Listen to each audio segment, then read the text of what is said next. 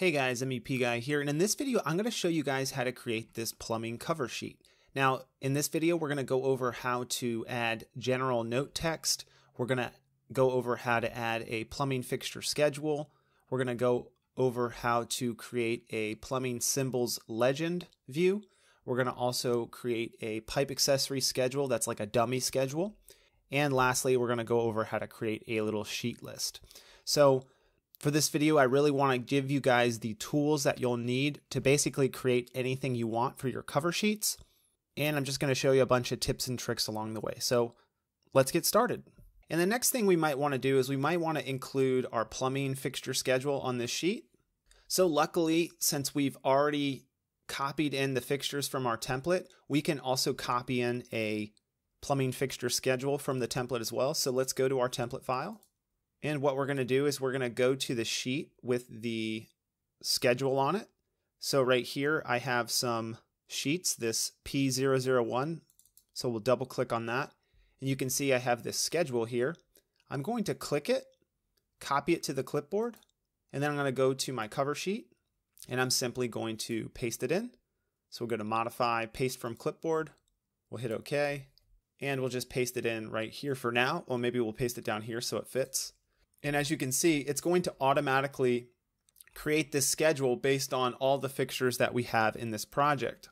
Now, some of you might not want to include the fixture unit values, so we can modify this schedule. I'm going to double click on it, and now we can go ahead and modify it. One thing I might want to do is I might want to add the shower type, so I could quickly add that here. So I created this new shower public type. And you can use this column for anything. And we might want to remove these columns. So let's go to our fields category right here and we'll hit edit. And if we want to remove it, we'll select it and click this red arrow.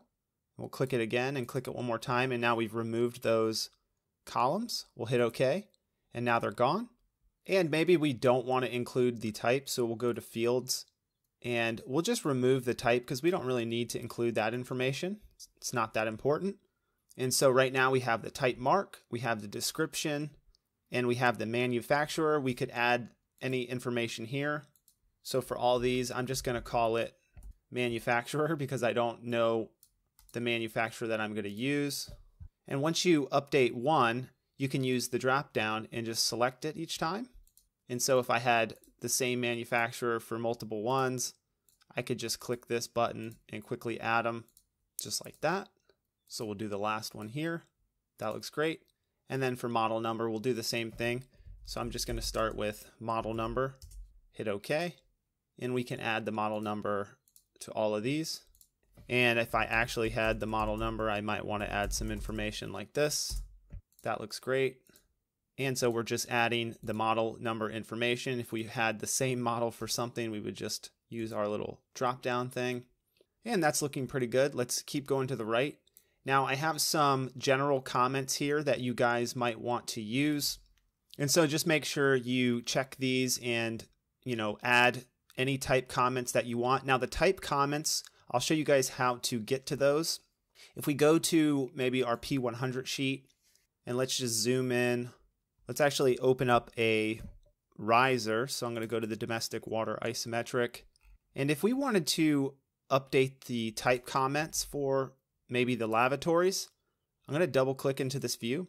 I'm going to click on my lavatory fixture. I'm going to go to edit type and we'll scroll down and you can see the type comments are actually located within this fixture. So if we click here, this is where we're editing our, our comments that are getting picked up by that schedule. So for instance, if I wanted to change it to maybe 1.2 GPM, I could do it right here, 1.2, hit enter and hit OK.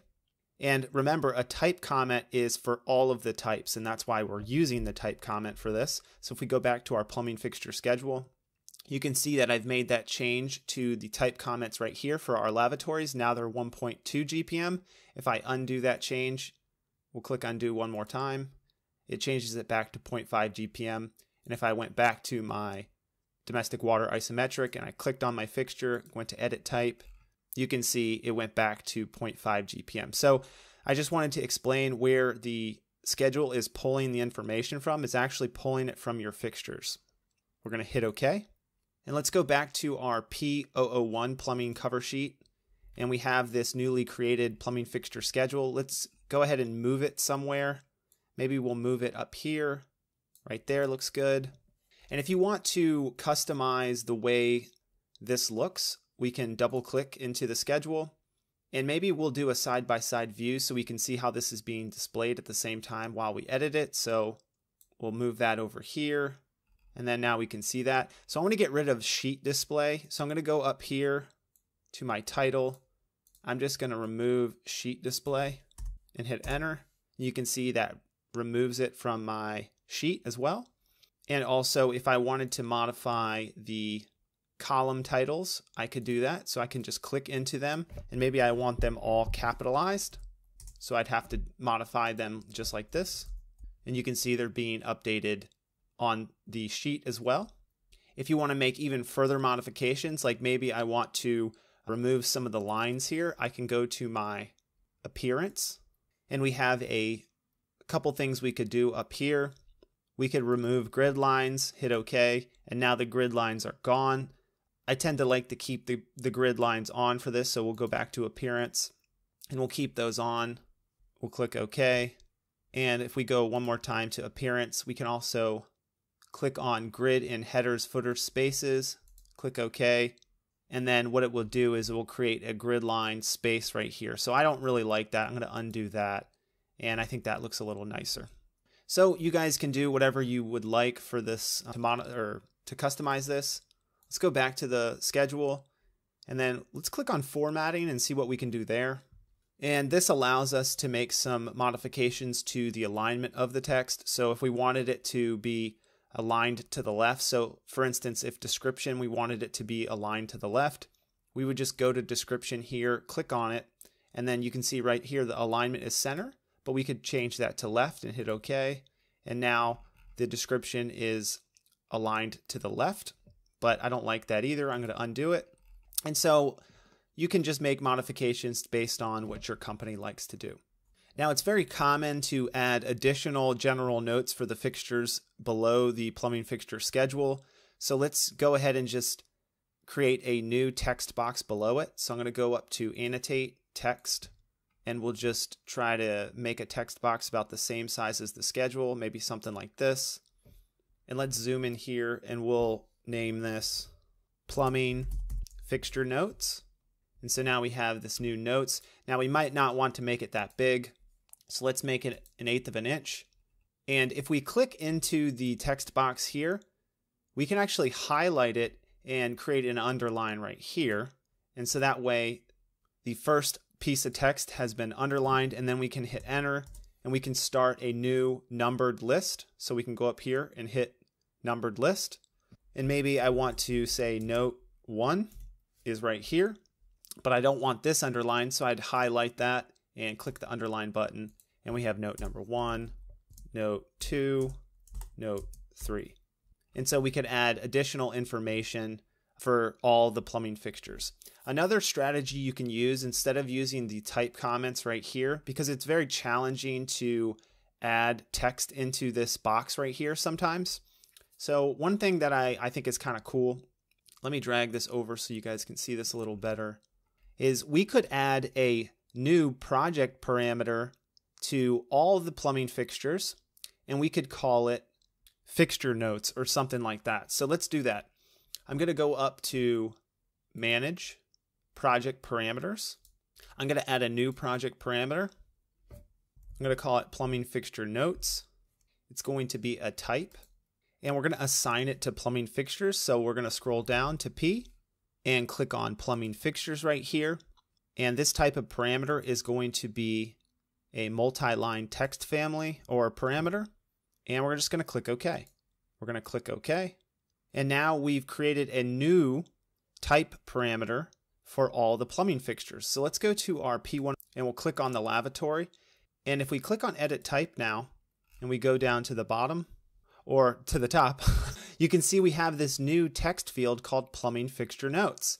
And so we can use this new field that we created for our schedule. So I'm going to click OK here. And what the nice thing about doing something like this is, is if we go to our cover sheet and specifically the schedule, so let's make the schedule nice and large, and then we go all the way to the right. Let's add in that new plumbing fixture parameter that we added to the project. So we'll go to Fields, Edit. We'll go down to Plumbing Fixture Notes. We're going to click it and hit this green arrow, Add Parameter, and we'll put it at the very end and we'll click OK. And now you can see we have this newly created field over here. I can't really see it, so I'm going to drag this into the screen like this so you guys can see this. And let's make it full size. There we go. And I'm going to hold Control and scroll away with my mouse wheel, and you can see that the schedule gets smaller. And I can also scroll in, and the schedule gets bigger. So that's looking a little better. And what we can do is we can click on the ellipses right here and start adding in notes. Now, before I do that, I want to increase the column width of this. So I'm going to hold control again and zoom out with my mouse wheel. And then I'm just going to drag the plumbing fixture notes over. And I don't want to use the type comments anymore because they're really hard to edit. So let me give you guys an example of what I mean. If we try to start editing this text, it's it's very challenging. So if I want to like go to ASSE 1070 and try to add text here, I can do it. And I can also click here. But you can see like it's not very user friendly. It's very kind of hard to work with sometimes. So what I might want to do is I might want to copy this text in here, hit Control C, and I might want to use my newly created uh, column right here. So I'm going to click into this, and we're going to click the little ellipses right here. And what that will do is it will pull up this new multi-line text box. And now I can easily edit within this box. And it just makes editing text a little easier and easy to work with. So I have all this ways I can edit. I can do different lines and stuff, just stuff that we could not do before using the type comments parameter because it's just a text parameter. So I think that looks good. I want to hit OK and add that. We're going to click OK. And I want to get rid of the new or the old type comments column. So I'm going to go to fields and I'm going to click on type comments. We're going to remove this one. We're going to click OK. And now you have a newly created uh, multi-line text column for all of your plumbing fixtures that you can use to add in different or more information to each plumbing fixture. So I think this technique is very, very nice and a great way to do it. So let's go back to our cover sheet. And now we have this new uh, text field that we can use to add additional information. And one more thing I want to show you guys. So let's actually get rid of this text up here. So let's go to, we'll double click onto our schedule and let's change the title up here. So I'm just going to change it to notes. And another technique you can use is we can do the same thing, but we're going to add a general note column so that we can refer to the general notes. So I'm going to go up to manage again. We're going to go up to project parameters. We're going to add a new one. We're going to go down to plumbing fixtures, select it, and we're going to call this one, we'll call it general note number. That's fine for now. And we're going to change it again to multi-line text is fine. Just makes it easier to work with. It's going to be a type, and I think that looks good. We're going to hit OK. And since I had the lavatory selected, it's asking me, do I want to make a change? We're just going to hit uh, cancel for now. We don't need to mess with it. So I'm going to hit OK on here. And let's add that new column to our schedule. So we'll go to Fields, Edit. We'll go to General Note Number, and we'll add that to our plumbing fixture schedule. We'll click OK. And now all the way to the right, we have a new General Note field, and we can click on it. And we can maybe make this 1, comma 2, comma 3. And that way, we'll hit OK. And that way we can have additional general notes that apply to all of the lavatories. So this is another technique that I've seen companies use for basically general notes that apply to a bunch of the fixtures. And so instead of having to write it for each one of these fixtures, you can add a general note uh, column here and do it that way. So let's go back to our P001 sheet. And you can see that something messed up over here, so we might want to resize this. You can also resize the plumbing schedule here, so I can resize it. And I'd want to make this a lot smaller. And so maybe let's just call this general notes. So we'll double click into our schedule. We'll go to the title up here and we'll just name this General Notes. Hit enter. We'll go back to our cover sheet right here and we could resize this maybe to something like this. Now we have that new general notes column and you can see it's saying refer to note 1, 2, and 3. And then what we would do is we'd say, we could say lavatories are wall hung, provide concealed arm carriers, and refer to the architectural drawings for mounting height. Something like that would be good, I think. And so let's move our plumbing fixture notes. Maybe we'll move it to about right there. And that looks good. And so we might want to add additional, so refer to the architectural drawings for mounting height. We might want to also add that to additional fixtures. So maybe the urinal, we add that general note. So we would add it here. We could just go to double click on our fixture or our schedule. And I want to add it to the urinal. So I'm going to click on the urinal because it highlights it. And now I know to add note number three here. So I hit the ellipses because we made it multi-line text and we'll add number three here. I'll click OK. And you can see that it's going to add that to all of the urinals. That's fine. We're going to hit OK. And now we have general note number three being applied to the urinal. Let's go back to our cover sheet and note three is showing up right here. So those are a couple ways to do it.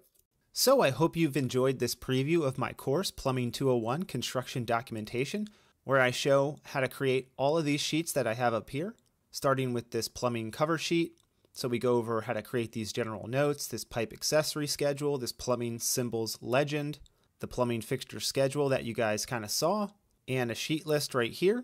We also go over how to create this floor plan sheet, and I show you guys this technique where we're using callouts to help display the information in a part plan view like this. So this really helps when you're documenting so you can really see everything at maybe a larger scale than your overall plan. And so we go over all of these techniques right here. You'll also notice that I have some sections right here. So if I double click into this view and then we go to these sections, they're actually located on P105, which is right here. And you can see I have these plumbing section views that I've created. And it just gives another view that has a little bit more information. So these are really cool to create. And they're very, very simple to create. And they really don't take that much time at all. We also show you how to create a floor plan based on your different system types. So right here, we're displaying the domestic water system. And I show a really cool technique where I cut up a floor plan, kind of like a match line technique. And right here, you can see it's telling whoever's viewing the documents that you need to view detail number two on P101, because this is P101. And so here's detail number two. So you can see it's just a, another technique to split up your building if you don't have enough space on your sheet. We do the same thing with the sanitary and vent system. So I show you guys how to do that. And right here, you can see we're using a fine level of detail. So you can see the pipe in a two line pipe. So we do the same technique up here. And we also go over how to show some riser or isometric drawings. And right here, we're just displaying the domestic water system. And I also go over how to display the sanitary and vent system, which is a little bit more complex. And what you'll need to do is most of the time you'll need to break up your drawing. So I show a technique where we break up the drawing and you can see S1 denotes that it's going to continue at this location right here. So it's just a really good technique to use for Revit because a lot of times we don't have enough space to fit everything on our plans. And so I go over all of that in the course. And lastly, like we talked about, we have these nice section views that we create. So this is all in the course, Plumbing 201. And make sure to check out the link in the description to go to mepguy.com and check out the offers that I have. So I hope you guys enjoyed this video and I'll see you in the next one. Thanks guys. Bye.